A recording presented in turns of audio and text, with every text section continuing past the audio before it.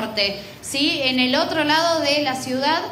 Hoy a la madrugada ingresó una banda de delincuentes a un edificio, al, departamento de una persona, de una persona de alrededor de 64 años.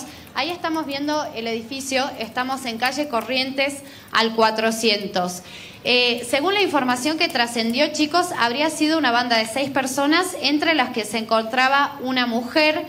Eh, lo sospechoso de todo esto, eh, de la información esta que recibimos, es que pareciera ser que las personas que ingresaron en el domicilio habrían tenido conocimiento del lugar, ¿sí? Según lo que, lo que trascendió, estas personas se movían con muchísima facilidad dentro del dormitorio. Nos dijeron además que, eh, bueno, esta persona de 64 años estaba durmiendo en su dormitorio, que lo tenía con llave, cuando esta banda eh, forcejeó la puerta de su cuarto, estamos hablando, chicos. Tremendo. Entonces, ya habían entrado al edificio, que estaba la puerta de abajo con llave. Es verdad que no hay portero y no hay cámaras de seguridad. Luego entraron al departamento, o sea, otra puerta que atravesaron y no conformes con eso, abrieron la puerta de la habitación de esta persona. Eh, se habrían llevado, chicos, dos mil dólares y 280 mil pesos.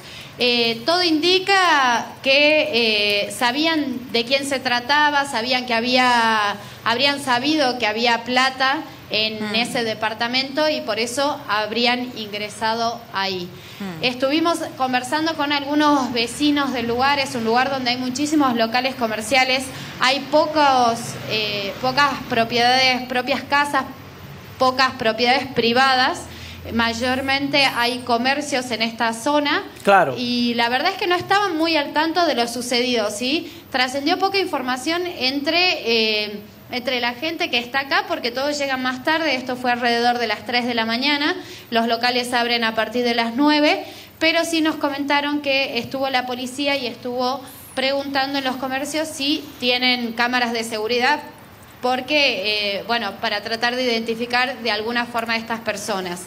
Eh, sin embargo, eh, chicos, estas personas habrían estado tapadas, eh, vestidas de negro y con la cara tapada. Todo esto es, como les digo, la información que trascendió. Habrá que esperar el informe de la policía que, como les cuento, ha estado en la zona eh, hace un rato eh, verificando lo sucedido y hablando con eh, las personas del lugar. Bueno, gracias Ángeles. Qué preocupante, ¿no? Que sea así en pleno centro. eh,